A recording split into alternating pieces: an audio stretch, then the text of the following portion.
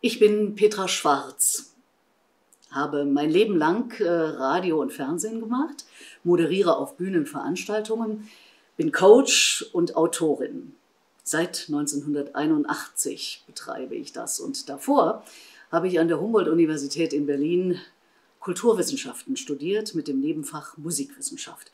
Und äh, als ich das studierte, geriet ich in den Oktoberclub. Und äh, wenn man im Oktoberclub Musik macht, ich war Flötistin dort, dann hat man unweigerlich mit dem Festival des politischen Liedes zu tun gehabt, dem größten Kulturfestival der DDR.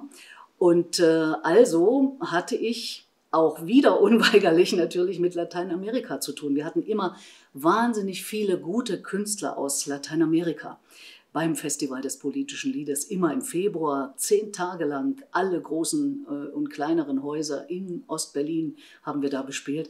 Und äh, so die lateinamerikanische Kultur spielte immer eine sehr, sehr große Rolle und natürlich auch Chile. Und äh, insofern hatte ich sowohl als Organisatorin des Festivals als auch als Moderatorin, eben auch als Hörfunk- und Fernsehfrau immer damit zu tun, weil ganz, ganz viele Veranstaltungen wurden auch von Radio und Fernsehen übertragen. Ich war damals, wie gesagt, noch nicht dabei, bin dadurch dann zum Rundfunk und Fernsehen gekommen. Aber die Zeit erinnere ich dann schon ziemlich genau noch. Davor, so in meiner Schulzeit, als der Putsch war, 1973, da war ich 15, äh, knapp 16 und da habe ich ehrlich gesagt keine detaillierte Erinnerung dran. Ich war in Erfurt an einer EOS, an einer erweiterten Oberschule. Dort gab es auch Singleclubs und da war ich irgendwie auch dabei, aber das weiß ich nicht mehr so ganz genau. Aber wie gesagt, dann so ab äh, ja, Studienzeit, ab Mitte der 70er Jahre, ab 76, 77, hatte ich eine Menge damit zu tun. Und wenn ich 1976 sage, da muss ich sagen, habe ich eine ganz, ganz äh, klare Erinnerung an einen Abend äh, im Palast der Republik. Da haben wir für die Freilassung von Luis Corvalan gekämpft, also unsere Solidarität gezeigt und wir hatten extra dafür ein Lied gemacht.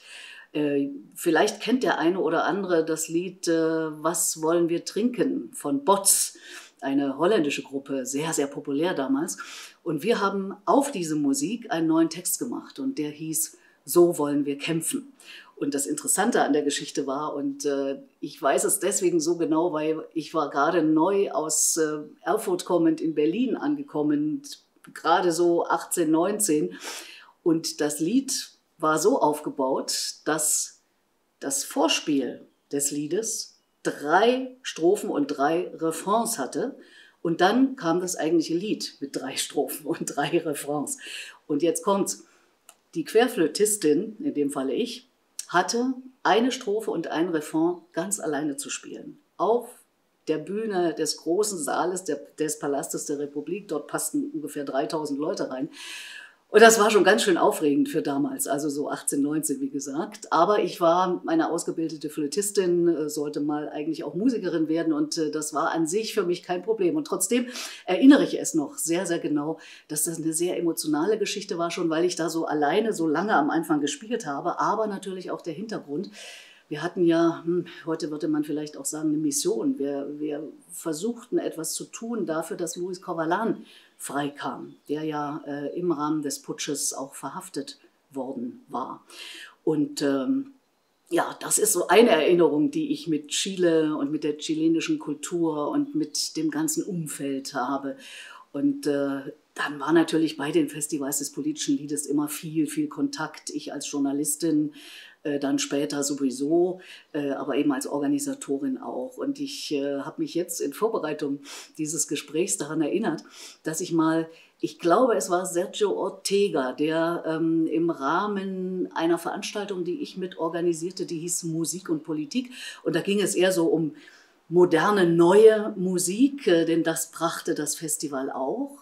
Insofern war dieser Name Festival des politischen Liedes genau genommen zu eng, denn wir machten alle möglichen musikalischen Formen. Und in einer dieser Veranstaltungen Musik und Politik im Berliner Ensemble, da war irgendwie die Flötistin in dieser chilenischen Gruppe ausgefallen und ich bin eingesprungen. Und was soll ich euch sagen? Die haben mich als Dank überrascht, indem sie mir ein Kleid geschenkt haben. Und das sind dann auch so die Ja, doch die sehr emotionalen Erinnerungen. Erstens natürlich an den Auftritt, da bei einer so gestandenen chilenischen Gruppe mit Sergio Ortega mitzuspielen und äh, auf der anderen Seite zu sagen, ey, und übrigens, ab jetzt trage ich auch immer das Kleid. Es ist nicht das hier, es ist ein anderes. Das gibt es jetzt nicht mehr. Es ist schon dafür zu lange her. Das ist längst zerschlissen. Aber ich habe es über Jahre geschleppt, so kann man sagen. Und es war für mich immer ähm, eine Erinnerung, immer an diesen Moment, an diesen Abend, wo ich als Flötistin dort in der Gruppe eingesprungen war. Ja, das ist auch so eine ganz emotionale Erinnerung an diese Zeit. Ich habe dann ab 1981, da ich bei DT64 Musikjournalistin war, eine Sendereihe gemacht, die hieß Songs, Lieder mit Grips. Also der Titel sagt schon, das waren jetzt nicht Popsongs, die da kamen, sondern eben mit inhaltsreichen Texten und dort habe ich ähm, Künstler aus der ganzen Welt vorgestellt. Eine, glaube ich, zweistündige Abendsendung. So 100 Prozent weiß ich es auch nicht mehr, weil es schon so lange her ist. Aber es gab die Sendung Songslieder mit Krips und dort habe ich auch eine Menge lateinamerikanische Künstlerinnen und Künstler vorgestellt, auch chilenische Gruppen. Und das Besondere war, was es heute kaum noch gibt, äh, soweit ich das äh, überblicke, dass wir wirklich jede Textzeile, die da gesungen wurde, auch übersetzt haben ins Deutsche, damit die Leute die es gehört haben, wissen, wovon da die Rede ist, wovon singen die da auf der Bühne, damit wir was von deren Leben wirklich mitkriegen und nicht nur schemenhaft eine Ahnung haben, worum es da vielleicht geht. Also das war eben auch zehn Jahre lang, bis 91 war ich bei DT64, habe ich äh, solche Sendungen immer wieder gemacht und hatte tolle Begegnungen mit äh, richtig wahnsinnig tollen Künstlerinnen und Künstlern, äh, natürlich auch aus Chile, mit Inti Maini, mit Kila Payun, mit anderen äh, Künstlerinnen und Künstlern aus Chile.